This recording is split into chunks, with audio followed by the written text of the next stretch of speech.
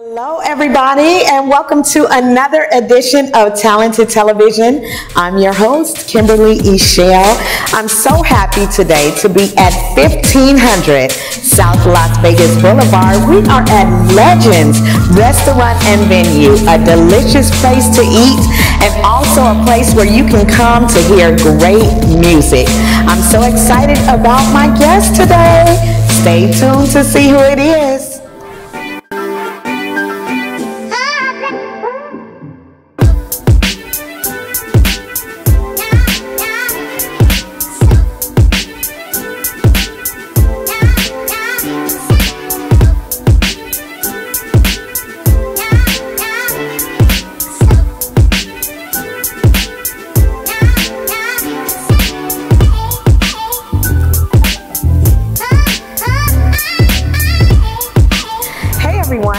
Welcome back to another edition of Talented Television.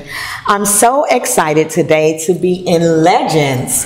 Legends is located on Las Vegas Boulevard where you can come and listen to music and comedy and all those great things. Plus, the food is delicious. Today, I would like to welcome my guest, Mr. Jaye Devan. Jaye is a talented comedian, so put your hands together out there. And while you're doing that, stop for a second and press that subscribe button. Welcome, Jaye. Thank you for having me. I appreciate it. Of course. I tell you all, no tales. It's hard to get a hold of this man, so I'm excited to have him on the show today. So, Jaye is a local comedian who's been kind of everywhere and he's blowing up here in Las Vegas. So, I haven't had the opportunity to have a comedian on the show as of yet, so you're my first. Thank you. Thank so you. So, tell I'm me a little about yourself, uh, Jaye. Where'd you grow up? Are you initially from Vegas? Uh, no, I'm originally from Philadelphia. Okay. And um, I lived in Philadelphia until I was 13. Mm-hmm. Uh, moved to Alabama. I lived there for several years. Uh, graduated high school from there, and then uh, joined the Marine Corps. Oh. So yes. Okay. What did I say? Hoorah! Hoorah! Hoorah! Yes. Yes. yes. awesome. Awesome. So, so, what did you do in the Marine Corps? And thank you for uh, serving for us. Um, I was a supply specialist. Supply so I supplied uh, ammunition. So okay. I was uh, I worked with uh, you know the weapons and ammunition and uh, munitions and things of that sort. So I supplied it to the guys who were out on the front lines, you know, doing the the fighting and stuff. Nice. So, yeah. so how'd you go from doing the weaponry and having the bullets and all those things to doing comedy?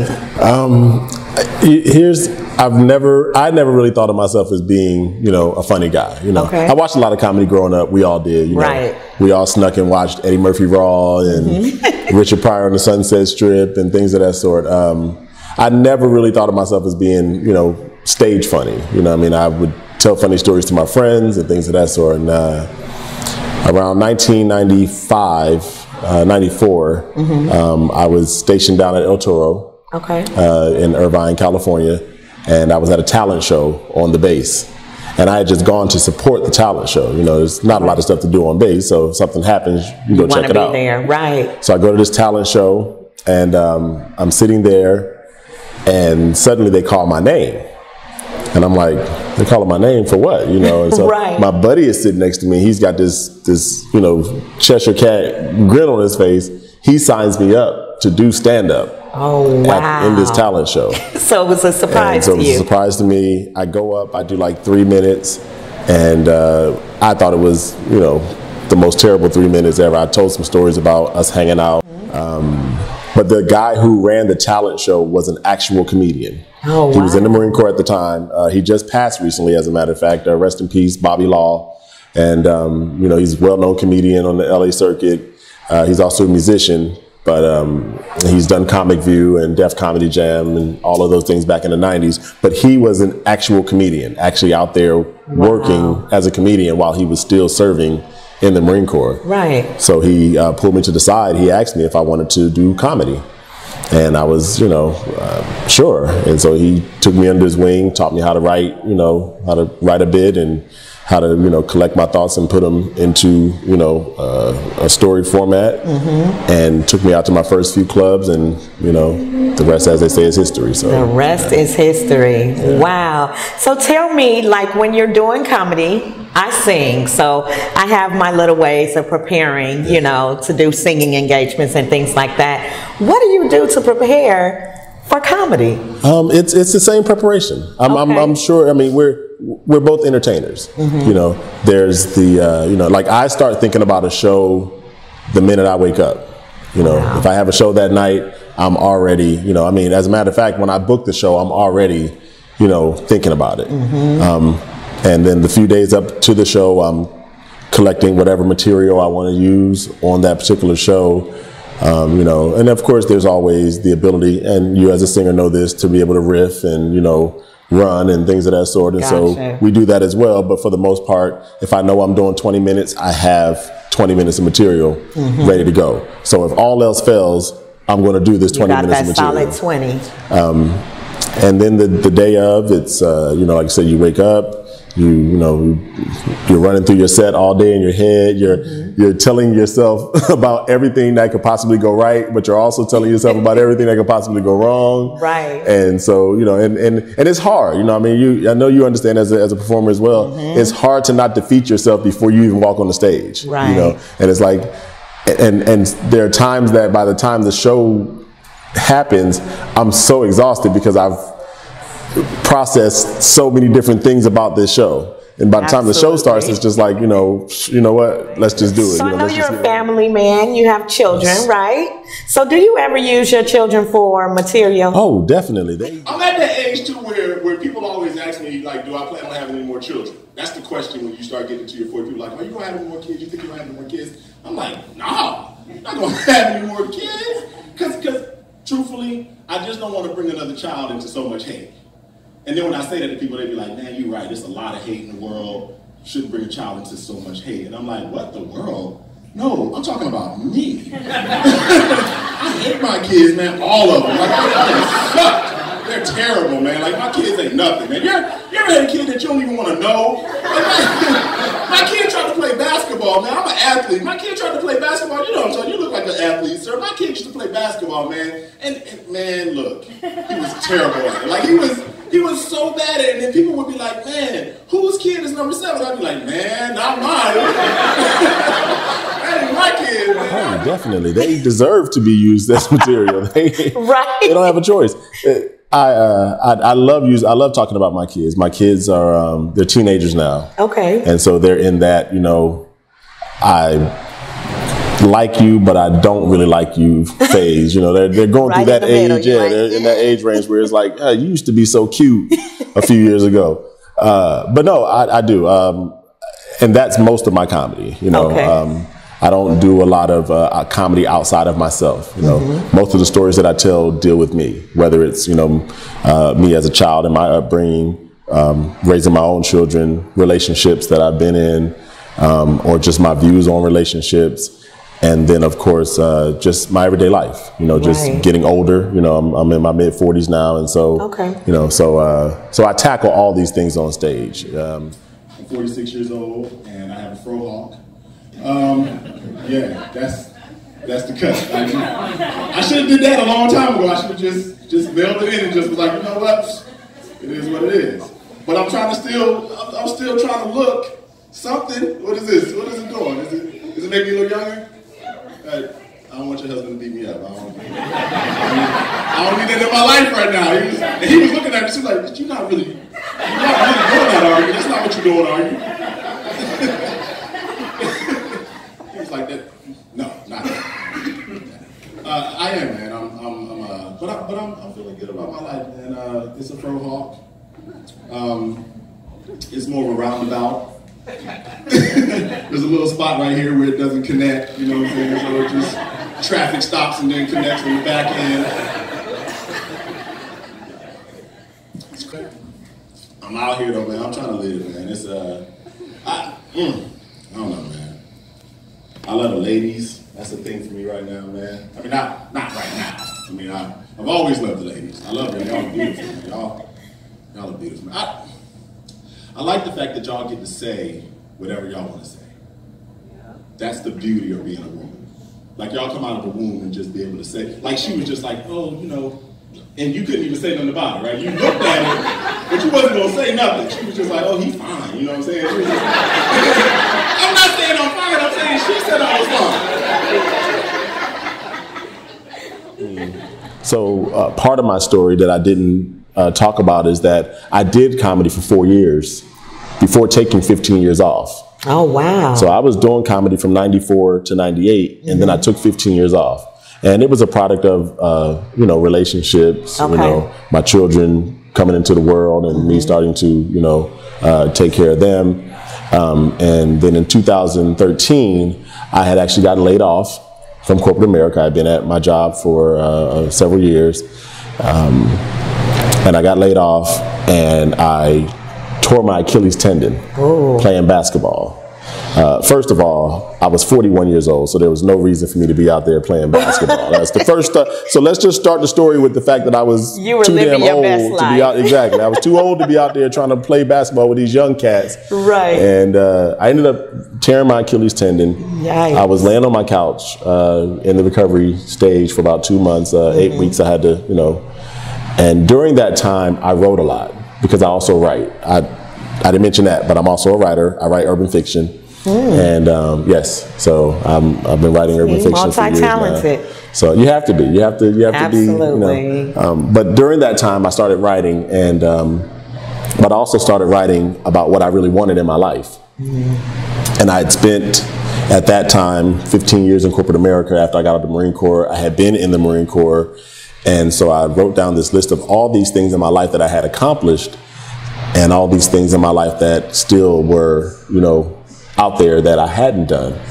Comedy was one of those things because I had never really seen, you know, to fruition. I'd never seen it to fruition. See, to find out exactly how far I could go with it, I just abruptly quit because the woman that I was with at the time wanted me to get a real real job. Fellas, don't be letting these women tell you to go get a real job. Hustle. Put your hustle on. Don't sell drugs though. And, don't uh, do that, please. but no, I, and, and you know, and, and so I thought to myself, I want to do that. I want to get back on stage, and I literally said I wanted to get back on stage. Um, I got my cast off, and this is how the universe works. And and I know you probably have a bunch of stories like this. Mm-hmm. I got my cast off on a Tuesday. That Thursday. Uh, July 13th. I still remember it like it was yesterday because it, it was the day after my son's birthday. My, my middle son's birthday is born on, is on July 12th. Mm-hmm. July 13th, I go to my first open mic in 15 years. Wow. I walk into this open mic, I put my name on the list, I have a cane, and I'm still in a walking boot. Wow. And uh, as the night goes along, I'm, i think I'm like eighth on the list. Mm-hmm. As the night goes along, I'm getting more and more nervous, and I'm going, I can't do this again. This is, I'm done. You know what I'm saying? I mean, I, I had my chance, whatever, whatever. Right. I get up, I go to the bathroom, and my intent was to sneak out. Mm-hmm. You know, after I came from the bathroom. Right. Well, as I'm coming out of the bathroom, the young lady who was hosting the mic was going into the bathroom and she sees me, mm-hmm. you know, as she's walking into the woman's bathroom, I'm coming out of it, and she goes, "Oh, you're next." You know, she goes, there, there, "There's one more, and then you." And I thought, "Oh, she caught me! Like I can't, you know, I'm saying like I can't walk out now." now. I went up, I did five minutes, and um, that was it.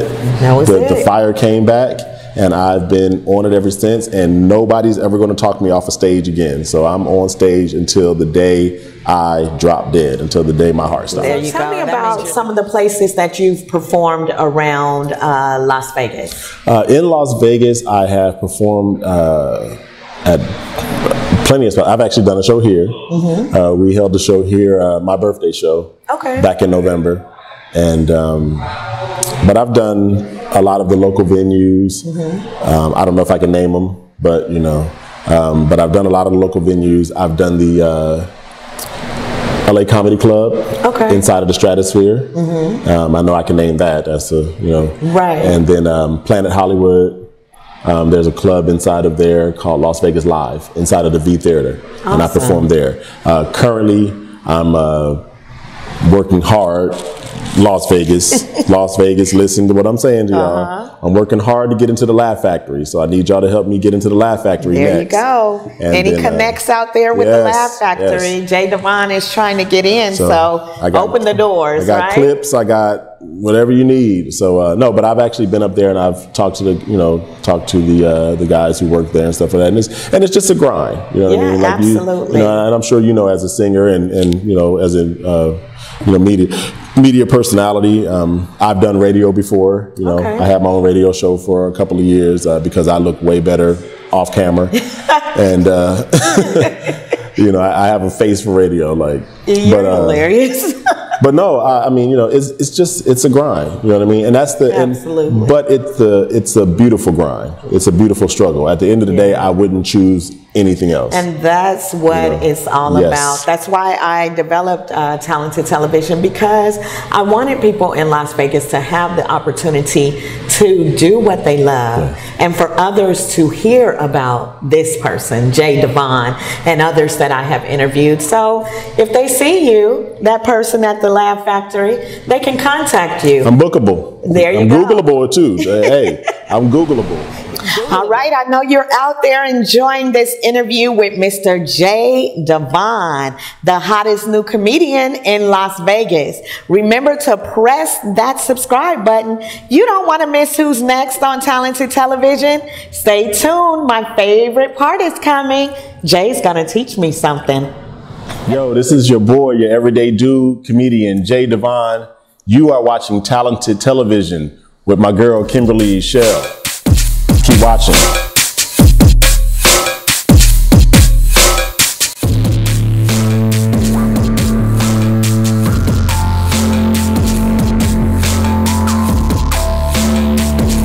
All right, guys, welcome back to Talented Television. I am having fun on the set with Mr. Jaye Devan.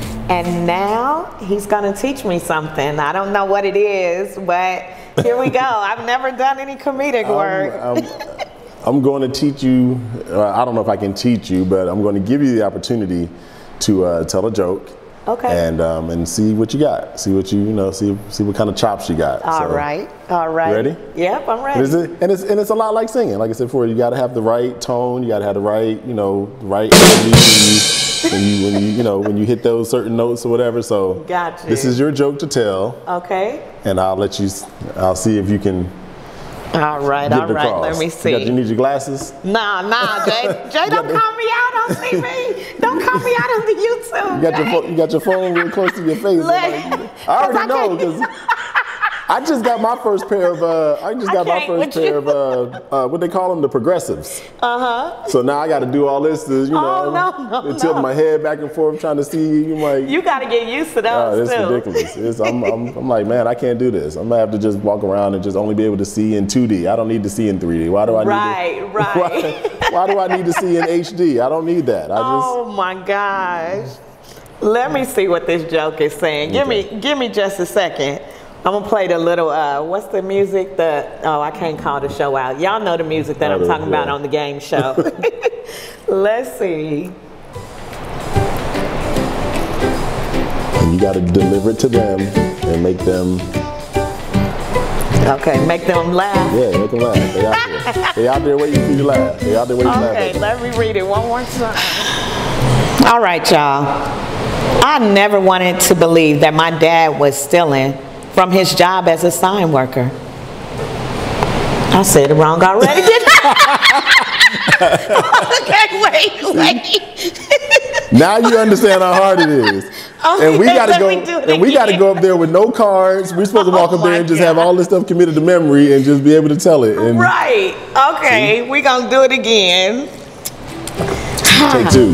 Take two. All right, y'all. So I never wanted to believe that my dad was stealing from his job as a road worker.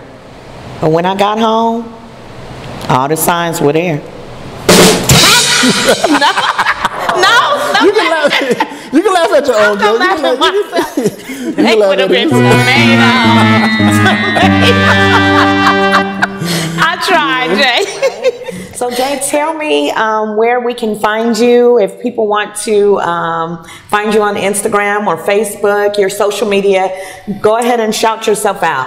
Um, Jaye Devan, uh, J A Y E D E V A N, uh, J A Y E D E V A N, Facebook, Instagram, Twitter. Uh, I have a YouTube page if you want to go onto YouTube and uh, see some clips of me performing.